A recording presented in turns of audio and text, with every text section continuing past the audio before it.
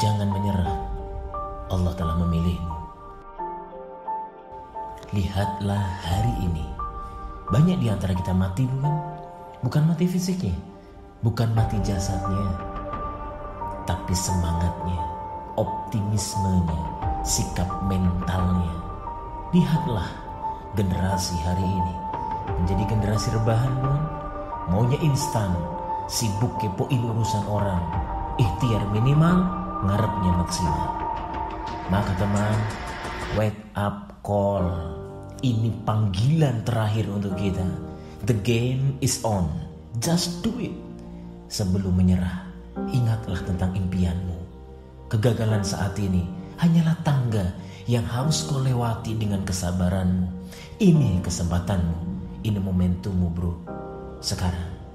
Ya, sekarang. Konsisten dengan janjimu.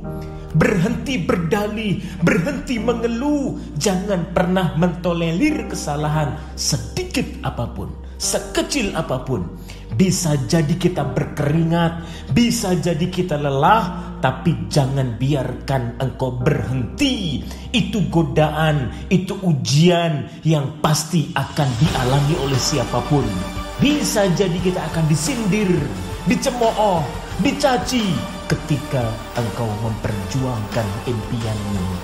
Terima dengan lapang hati. Allah izinkan engkau untuk disakiti agar mampu berempati kepada mereka yang sedang terluka. Allah izinkan engkau untuk jatuh agar engkau semakin kuat. Inilah hakikat dunia. Tempatnya ujian, tempatnya cobaan, tempat rehatmu adalah di surga. Di jalan-jalan sunyi inilah perjuanganmu harus kau nikmati. Kadang terjal, kadang jauh, bahkan bisa jadi sepi dari tepuk tangan.